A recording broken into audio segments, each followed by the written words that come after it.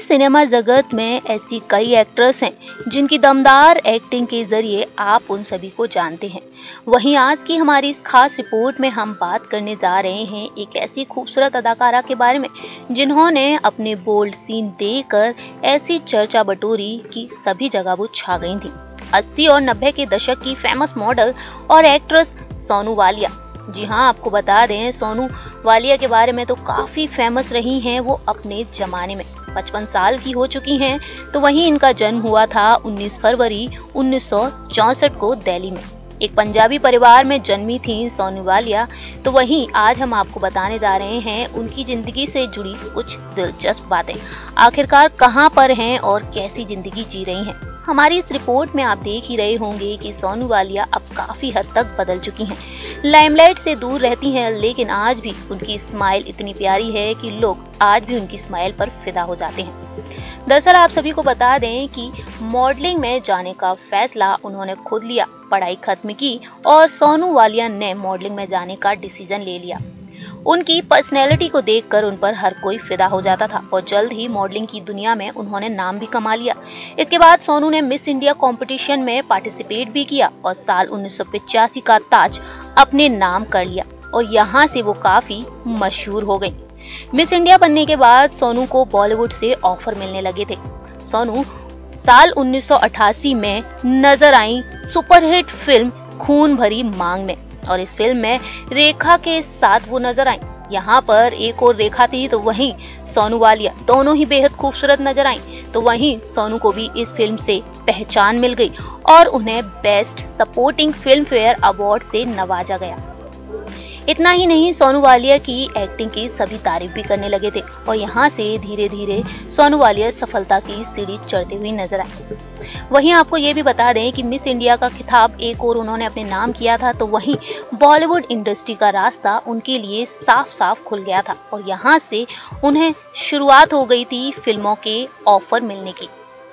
यहाँ पर एक और, उन्हें खून भरी मांग, फ़िल्म में काम मिला तो वहीं दूसरी ओर वो लगातार कई फ़िल्मों में छाती हुई नज़र आई लेकिन धीरे धीरे फ़िल्म इंडस्ट्री से बहुत दूर होती हुई भी नज़र आई जी हाँ आपको बता दें कि सोनू वालिया ने कई फ़िल्मों में काम किया, लेकिन फ़िल्मों में उन्हें कोई खास पहचान नहीं मिल पा रही थी, जिसके बाद उन्होंने बी ग्रेड फ़िल्मों में काम करना शुरू कर दिया था। लेकिन इसके बाद उन्होंने इंडस्ट्री को छोड़ शादी करने का फैसला कर लिया। इसके बाद उन्होंने एनआरआई सूर्य प्रकाश से शादी कर अपना घर बसाया, लेकिन सूर्य प्रकाश का निधन हो गया। और ये दौर बेहद ही दर्दनाक था उनके लिए। उन्होंने दूसरी शादी के लिए NRI film producer Pratap Singh से की, और अब वे यूएस में रहती हैं और उनकी एक लड़की भी है। अपनी फैमिली के साथ बहुत ही अच्छी तरीके से ज़िंदगी जी रही हैं। वहीं आपको ये भी बता दें कि सोनू वालिया एक बार फिर से चर्चा में आई और जब वो चर्चा में आई तो फिर से वो देखने को मिली। बता दें आपको कि जब एक्ट्रेस सोनू वालिया के साथ छेड़छाड़ की गई, उन्होंने इसके खिलाफ मुंबई के बंगुर नागर पुलिस स्टेशन में एफआईआर दर्ज करवाई और सोनू ने अपनी शिकायत को भी बताया। कि कोई अनजान शख्स उन्हें कई दिनों से मोबाइल पर आपत्तिजनक वीडियोस भेज रहे हैं और ऐसे में एक्ट्रेस काफ़ी परेशान हो गई और मुंबई के मलाड में वो रहा करती थी। उस वक्त ये मामला पुलिस के पास उन्होंने दर्ज करवाया। वहीं सोनू के मुताबिक ये भी सामने आया कि कोई शख्स उन्हें फ़ोन करके कुछ भी बातें करता है, जो कि वो उसे सुन नहीं पाती हैं। साथ ही वीडियोस भी सेंड करता है। वो करीब एक हफ़्ते से ये सब कर रहा था, तब सोनू ने परेशान होकर पुलिस से शिकायत की। वहीं आपको ये भी बता दें, सोनू का ये भी कहना था कि मैं काफ़ी समय से सेकेंड हैंड कार खरीदना चाहती थी और इसी बीच इस डीलर से मेरी मुलाकात हुई और उन्होंने कहा कि उसके पास साल 2012 से दो हज़ार नौ सौ तिरानवे सीसी की बीएमडब्ल्यू कार है, जिस कार का मालिक 20 लाख रुपए में उसे बेचना चाहता है। ऐसे में सोनू कार का इस्तेमाल करना चाहती थी तो वहीं उसकी सर्विसिंग भी कराना चाहती थी, जिसके चलते उन्होंने कार को लेकर सर्विस सेंटर पर भेजा था। और उन्हें पता चला कि दो हज़ार नौ सौ तिरानवे सीसी नहीं, बल्कि एक हज़ार सीसी है और इसके बाद उन्होंने डीलर के खिलाफ शिकायत भी दर्ज कराई। तो इस तरीके से सोनू वालिया लगातार विवादों में घिरती हुई नज़र आई।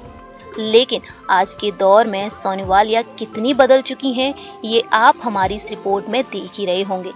एक ऐसी खूबसूरत एक्ट्रेस जिन्होंने अपने बोल्ड अंदाज से हर किसी के दिलों पर राज किया लेकिन शायद किस्मत को कुछ और ही मंजूर था। ये दो बड़े विवाद थे, जिसकी वजह से वो काफ़ी चर्चा में रही। एक ठगी का खुलासा तो दूसरा उनके साथ छेड़खानी वाला। यहाँ पर सोनू वालिया को लेकर तमाम ऐसी खबरें सामने आने लगी। लेकिन फ़िलहाल सोनू वालिया लगातार लाइमलाइट से दूर हैं और अपने पति के साथ बहुत ही आलिशान ज़िंदगी जी रही हैं। वेल फ्रेंड्स आप क्या कहते हैं? सोनू वालिया को लेकर ये आप हमारे कॉमेंट सेक्शन में बता सकते हैं। फ़िलहाल के लिए हम चलते हैं। तब तक के लिए आप देखते रहिए नेक्स्ट नाइन न्यूज़ से प्रांशी की रिपोर्ट।